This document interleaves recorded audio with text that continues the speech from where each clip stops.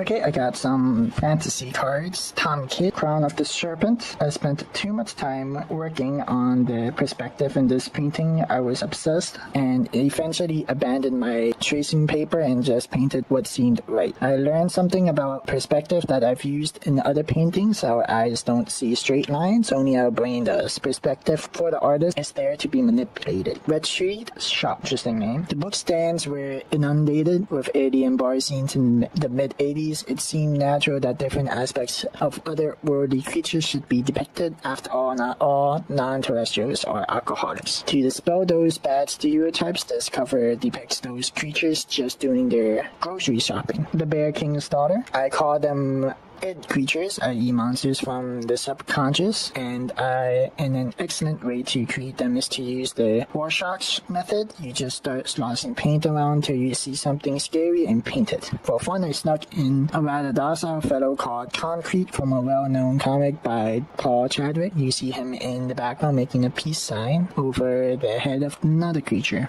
Oh, okay, so there's the guy making the peace sign. Lots of creatures there. The alien Ray is this a returning hero or a race of otherworldly evildoers? He gives himself away when he takes off his glove. I made his hand stand out by placing a light blue screen strategically behind it. For fun, I placed a symbol of an armored fist holding an olive branch and a lightning bolt. Other Air Force brats should recognize it. I don't really see it. An olive branch, Lord of the Skies. I purposely burnt out the areas much like a slightly overexposed photograph for this cover. This was to help emphasize the darkness of space. In space, there is no ambient light, no atmosphere to disperse light into shadows. However, there's reflective light, such as off a planet. I used the light bouncing off the Earth to give form to areas of the figure and spacecraft that would otherwise have been flat. One step from Earth, this was an anthology of matter transporter stories. I combine elements of each story and place them together, coming out of a transporter. This is a typical typical example of complementary use of color. High Crusade, Knights with ray guns, it seems like a hell of a lot of fun to me. I may have been too subtle with this. That knight should have been holding a huge ray gun. Fun art fact, the pigment Egyptian brown was actually bone ash, and asphaltum obtained by grinding up Egyptian mummies it used was suddenly discontinued when its grisly composition became generally known to artists. Starship Trooper. In high school, I read and loved Starship Troopers. I even fantasized about having my own armored suit and correcting the injustices of the world of tactical nuclear weapons. The more I thought about it, the more it became kind of comical, hence this painting. It was later bought right out of my portfolio by Jim Baen of Tor Books for the book, Earth Descendant. That looks like someone from the 1600s in America. Near America. Oh, that makes sense. Artists and art collectors can readily tell the difference between one artist and another. Beyond personal taste and style, there's a quality of paint application that's unique to individuals. In this painting, I experimented with a thicker, gooier form of paint. I like the approach and still use it in certain ways today. Guardsman. It's a long-standing tradition that illustrators occasionally pose for their own covers. Norman Rockwell did it too. Distraction. I submit this minus the lion's head and fur and the mechanical hand as a humble example of that tradition, believe it or not. Mission to Universe. I just walked out of a store on Railroad Street in New Milford when I looked up at the sky and saw something I'd never seen up close in person before in inversion. A cold front came in on top of a warm front, and all hell was about to break loose. As the clouds boiled, I stood in awe, thinking I've got to do a painting of this. The right book finally came along, and this is the result. Someday I'd like to do more involved version of a storm like this. Okay, so I'm guessing that's what happened. Wolfing, I've been told I'm especially good with color. It's just because I've taken a lot of chances with it. I almost always do uh, quick, very rough, small color sketch to approximate how the finished piece will look. However, I can rarely make myself follow the sketch. As I paint, I keep thinking, hey, let's try this. Had I time, I would go back and rework the color in this painting. Jewels of the Dragon. If you ever seen a live news report from a war zone, you've probably seen the television's picture spin or move widely as bombs and guns go off around the camel man. That's what I wanted to portray here by slanting what would normally be seen for vertically and giving it a low point of view. Marooned in real time. When I look at this painting, I remember being blinded by the cadmium red ground I used for this and Frederick E. Church. After I read the manuscript for the book, Church's painting of an erupting volcano called Cotopaxi came immediately to mind. I didn't want to copy Cotopaxi, so I didn't look at it until I finished my painting as a cover for Analog. This won an ANLAB award. Mm, Invaders from Earth. It can be frustrating when you are given a good book to do a cover for that has little visual material and see Wyeth said that he preferred to illustrate the scene implied rather than described. And I did that here. The work of Chesley Bonestell also influenced this picture. To the resurrection station, to create a unifying patina for this cover, I mixed burnt sienna into my medium. This is also way too randomized or fairy color. Robots should be able to perform like humans but not have a human anatomy, otherwise they will simply look like a human with a metal suit on. Eyes of amber, with the exception of the lens on the probe in the creature's hand, I removed all the yellow as if with a filter from this painting. I wanted to have an other earthy feel to it. This painting reminds me of some old copies of the Saturday Evening Post I've seen back when it was printed in only one or two primary colors in black.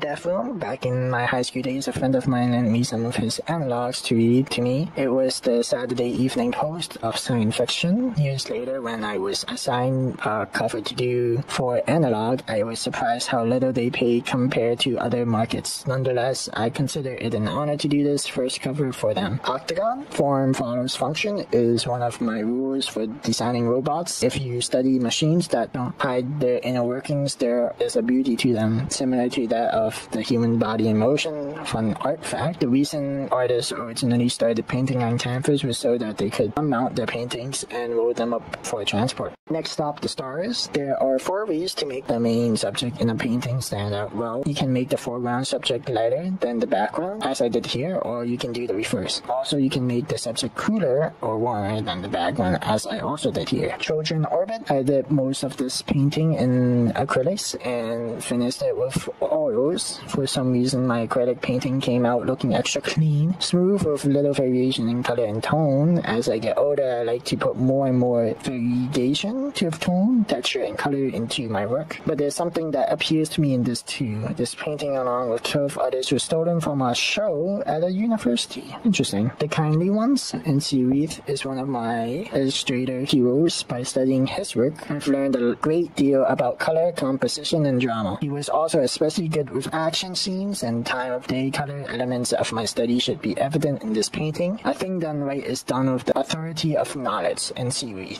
Firewatch, when you do a cover for a science fiction story, you wanted to have clear science fiction qualities. Unfortunately, not all stories have a visual element that fits the bill. It's best to find something that fits the book conceptually. Art is not a transport or a copy. Art is the expression of those beauties and emotions that stir the human soul. Howard Pyle. Riddling, our world, because of the tendency of the atmosphere to diffuse the blue part of the visual spectrum, is split into warms and cools. Ambient light is cool, blues, direct light is warm, yellows and reds. When I compose a picture, I place my cools and warms accordingly. This painting is a clear example of what I mean. Imperator plot. When I was doing covers for Tor books, sometimes a cover I did for one book would appear on another. I don't know why originally I painted this for Sleepwalker's World. It was printed for the above title instead, and the wolf was cropped out. Sadly, this painting was stolen. Dude, this guy and his paintings. You know, to steal an artist's paintings is just rude. Game of Empire. Rick Berry introduced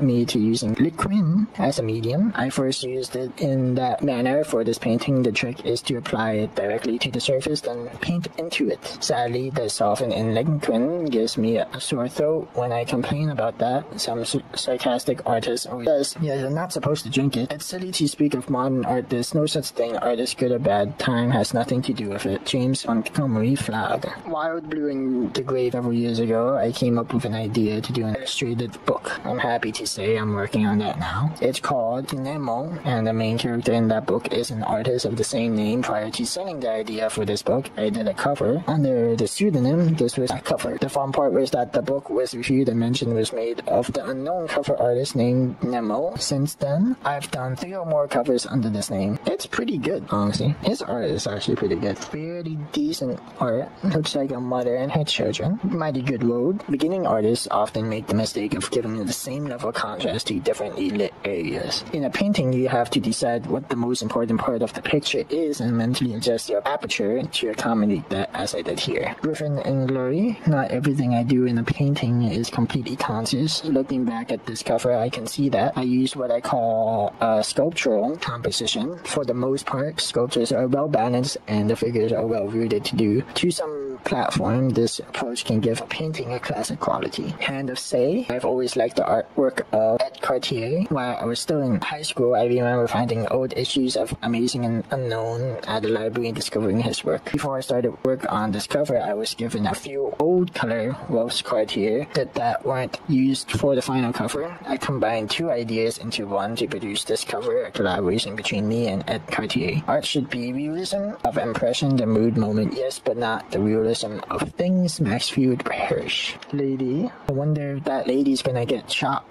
by the axe, Knight of Dragons. How did dragons evolve? What other reptilian mammalian creature has six limbs? There are none that I know of. This dragon has two arms, two legs, and two wings. Uh, Although six limbs, it's entertaining for me to think about such things as I paint. No, I've actually never considered that. Freedom Beach, two things that you cannot put on a book jacket or a naked person, and something depressing. I did both here. The naked woman on the Sphinx has committed suicide. I was told to paint her as she's just resting. Went primarily for mood for this cover one of mystery. I didn't even notice the woman on there. She has committed suicide. Wonder how. Maybe ate something poisonous. That is sad and depressing. See what we got here. That wizard looks off compared to the griffin and the Viking. The complete enchanter. There were so many fun elements in this story. I had a hard time deciding what to use. I just put as many as I could on the cover. I hope the readers of the book enjoyed the little elements from it on the cover. Carved symbols are a mathematical formula to transport you to parallel worlds of myth and legend. The Earthstone, what makes artists talented is that they have a greater visual ability and are keen observers of nature and people. More experienced artists gain ability as their clarity of vision increases with the amount of art they do. In my head, I have a file of visual experiences to draw on for each painting I do. They are based on things I've observed, such as the eerie mist in this picture. It looks like uh, there's also an apparition,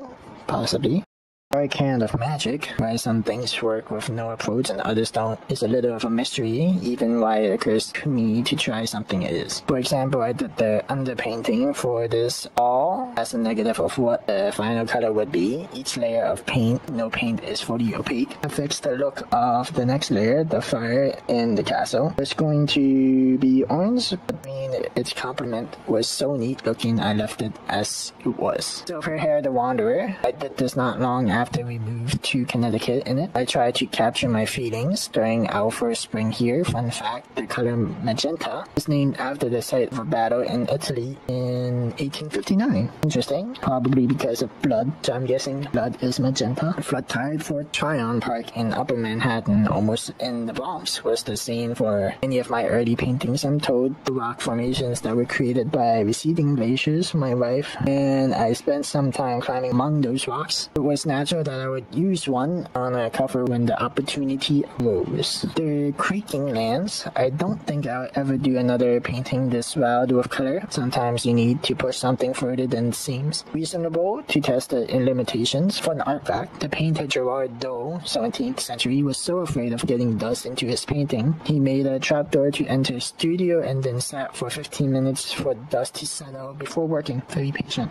Looks like they have slain some kind of dinosaur, reptile, bird, Santodon, a monster, a babe, and a tough guy with a gun. How do you combine the three and not have them add up to a cliche? I don't think it succeeded, but I put a lot of thought into it doing this a learning experience. Idiot Savant, I find it interesting title and do a painting before I started doing covers. This was standard procedure for me. At the time I did this, I was renting a single room in Larchmont, New York, and going to Manhattan every day to show my portfolio. It was a nice trying but eventually fruitful time for me. Secrets of the Sorceress. This was done as a portfolio piece. It's never been used as a cover in the US, but it was designed to have type placed in the fire pot. Fun fact, a pigment called Indian Yellow was made by heating the urine of cows fed on mango leaves. Riding the Torch. Spinrad's book was about an artist of the future. Here he is symbolically, as if he's before his easel, directing his art. The thought of a single person using a computer as his medium to create moving paintings appeal to me greatly. The coming artist will make his reputation not by picture in still life, but by drawings that are animated. Winsor McCay. The Black Company. Mood is always important in the painting. Here I place the action in the middle of a storm to intensify the drama. Part of the look of this painting is taken from real life late in the day while driving my car with the sun behind me. I notice a storm coming towards me. After it passed overhead, the tree and building in front of me were lit eerily in warm sunlight. Man, that guy is getting tied up, and I think she has like a little tail, right? Is that a little tail? Mind bond. I like to call this painting mind bondage, even though I painted this with complete seriousness. There's something funny about these furry girls who are tempting the guy who's tied up, knifing a giant. The white fire, the writer's block, there's artist block. Sometimes I can't seem to come up with a good idea. One is just to draw the unimportant elements in a book and work with them until I include just the important ones. Another is to mindlessly scribble. It really works for me, but for this cover it.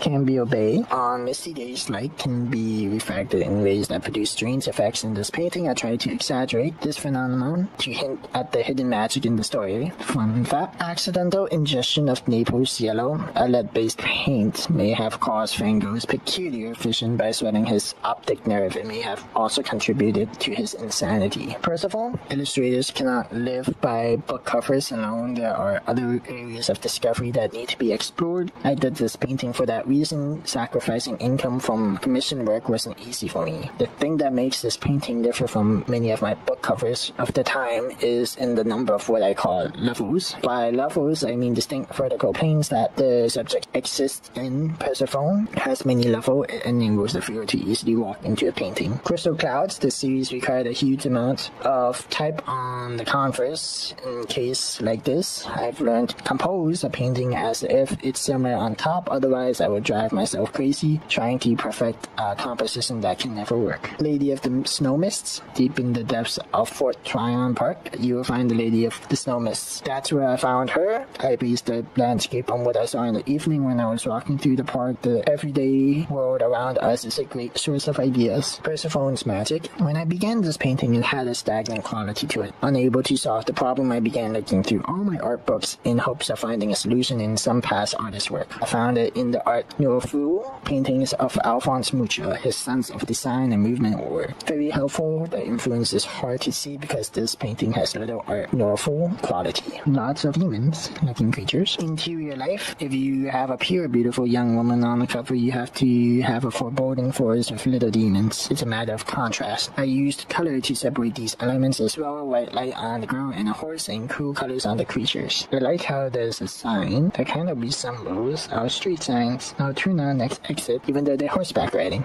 Apocalypse. Here they come for the four horse woman of the apocalypse. Maybe too many of my covers can be summed up in a single sentence. Here you can see how I use Reddit to reflect the action taking place in the painting. That's an interesting feature. Tatcha's Grimm's world, there's a lot of beauty to be experienced just before sunrise. The world is quiet, the air is cool, the sky on a clear day is deep blue. You can still see some distant planets looking like stars, and there's always a chance of sighting a meteor, especially if it's a big one. It's that crisp clarity of this early morning that I try to capture here. Think in masses, define them in lines, George B. Bridgman. Meanwhile, don't give me a city book if you don't want a city painting. This cover had so much type on it, I thought it might be nice to see it reproduced with everything visible. The original of this was stolen. Okay, Dr. Alb Batendier's method from an issue of Cosmos, 1882. He suggested that to clean paintings, the best substance is early morning urine, freshly produced. Okay, another orphan. Sometimes a painting is missing something, and for some reason I can't figure out what it is. During those frustrating times, it's good to get a second opinion from another artist. In this case, I asked Paul Chadwick Creative Concrete for help. He just suggested adding the figure you see in the background painting to the whale Moby Dick if he hadn't guessed to balance the composition and draw more attention to the dilemma. That's really cool.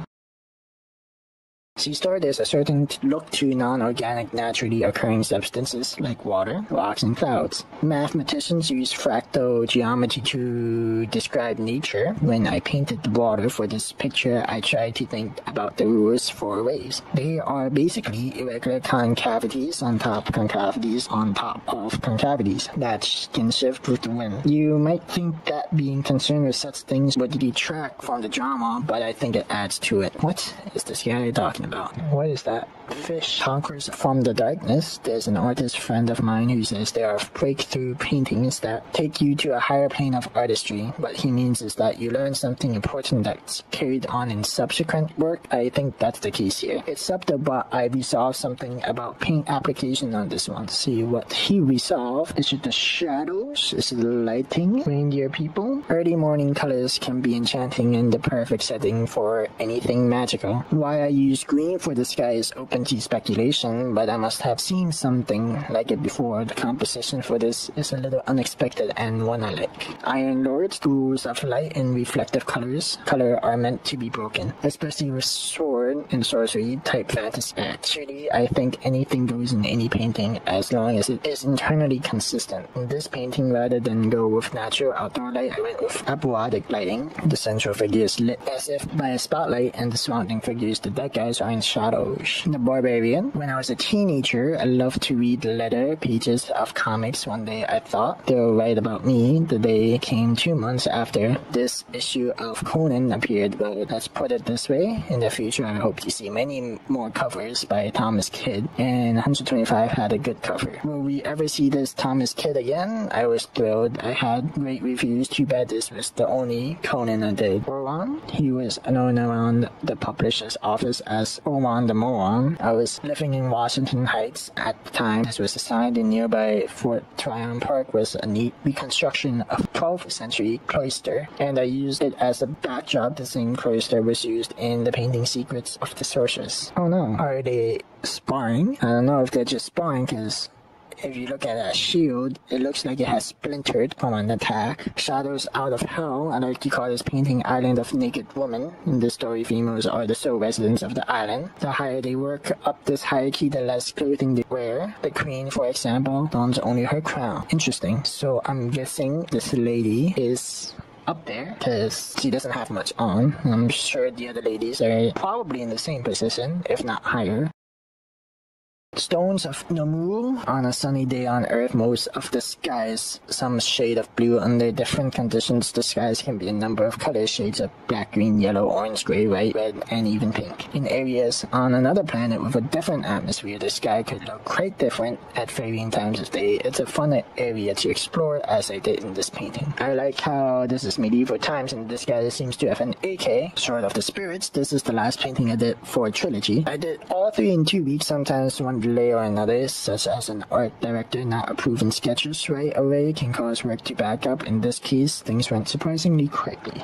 And Rating. This was the first in a series of three books because I knew the type would be boxed. I came up with some very different, for me, compositional solutions. Ultramarine compare its ingredients to Indian yellow sea card 41 is made from semi-precious stone. Lapis lazuli, the true version of this pigment, is extremely expensive. Spell Fate, a lack of description in a book can be tough for an illustrator, but what do you do when the characters aren't even described? In this case, I marked every little descriptive statement about all the main characters and put the pieces together to come up with what they look like. After all my hard work, the rough that was chosen did not incorporate most of them. Can't tell if that's a lady or a guy. Wizard's Retreat, after many years of doing fantasy painting, this was my first wizard. Many more would come, but you also remember your first. I imagine this sorcerer is communicating communicating with someone from a distance through a magic sphere. Sable brushes are not made from the hair of sables, they're made from weasel hair. Sable just sounds better. Success. When I get an assignment that has few parameters, it's both exciting and trying. That was the case with this painting. How do I paint the ultimate wizard? I drew up dozens of sketches and changed my full-size sketch many times. Recently, I even had a chance to work on it some more when I made changes to it for use on a collectible that looks like a telephone and a perf and his wife. A bad spelling work. I prefer to paint narrative pictures. That is one that tell a story. When I first started doing covers, I was warned to keep things simple compositionally. You can do this by creating tonal masses. Conceptually, it can be done by giving prominence to one idea and subjugating others. So like a cat, turtle, raccoon, and hare. Wyrd Sisters, when I do a cover, I feel my primary goal is to reflect the main ideas of the book. If I were to simply illustrate the actions taking place on a page, it could be misleading. The mood in this case is a humorous one. The main action, the, which is bestowing magic on a baby, similar to a christening, like the book. I also have allusions to Shakespeare, rat family, orangutan, wizard, lots of things going on. Sourcery. I've insisted writing in this collection that this was fun to paint because the reader would get sick of reading it. So goes this was a hell of a lot of fun to paint, so much so that after I got this painting back from the publisher, I had to add more to it, the mice on the beam. Equal Rites. This is the first of several Discworld covers I did for the science fiction book club.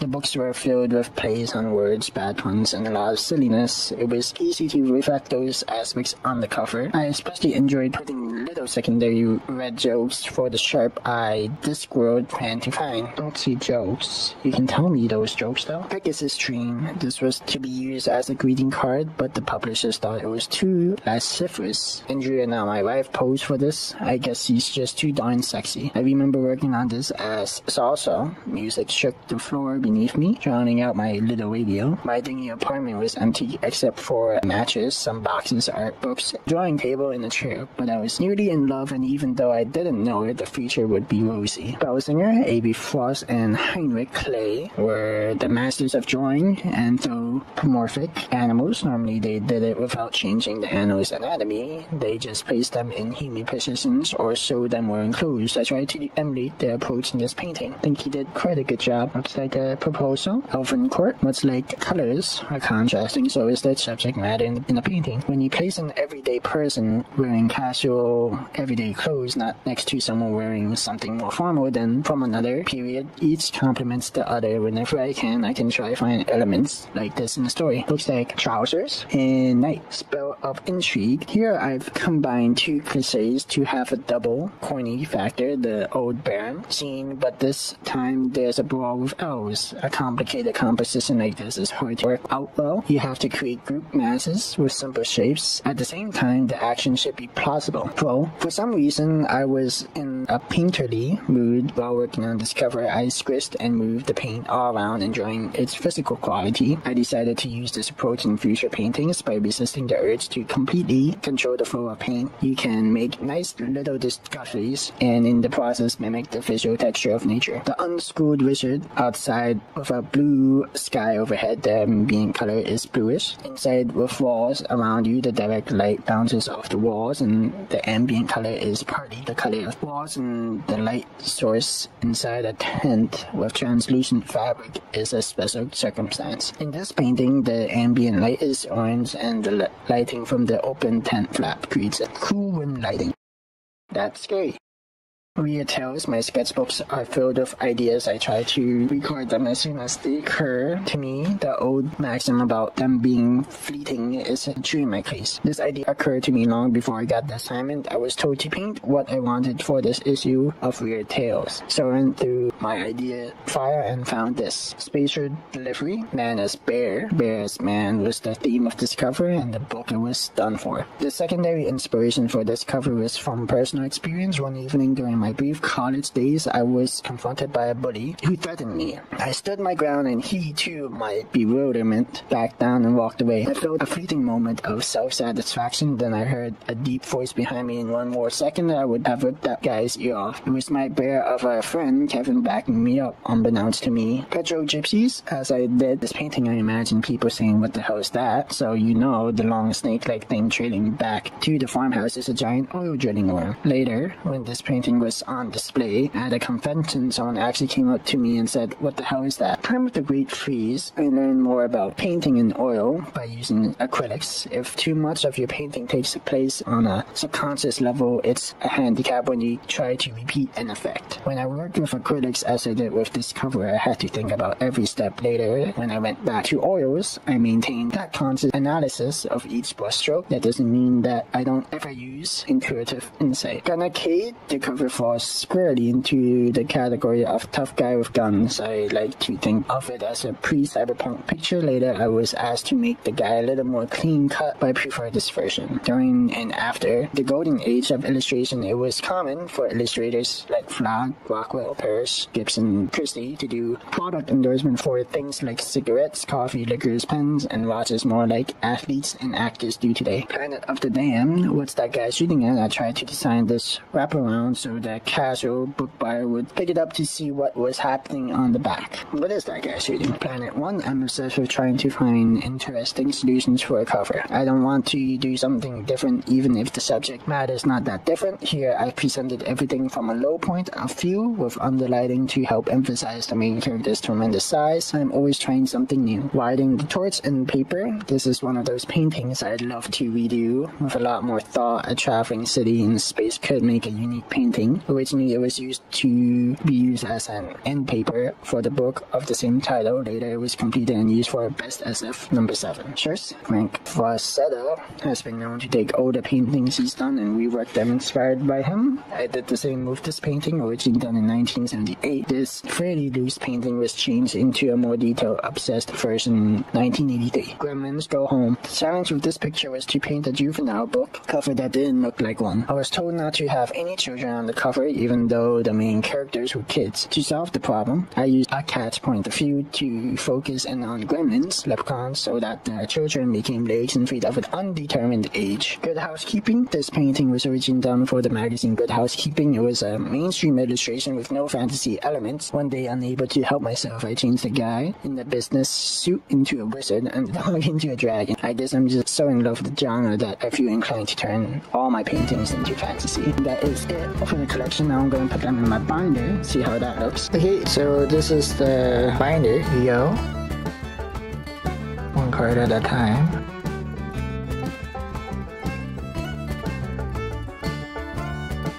Tell me which one's your favorite?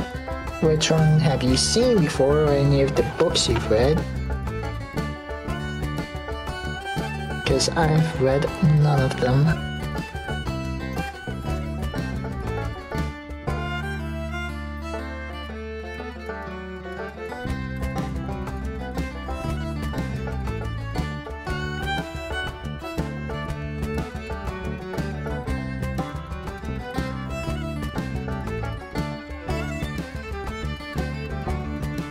Lots of very nice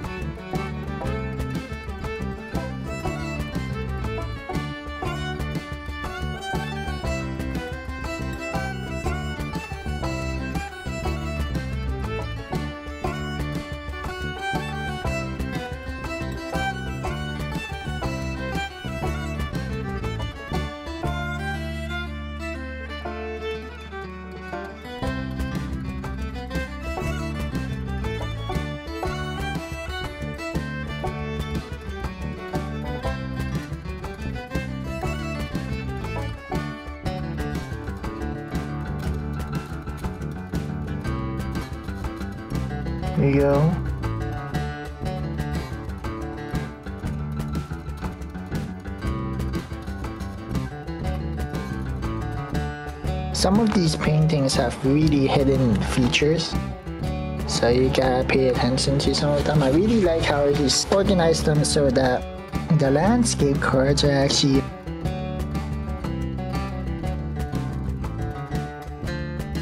at the end are these sectioned off together. I hate it when they combine them. Tom Kidd, that's the last one. Okay, thank you. Bye.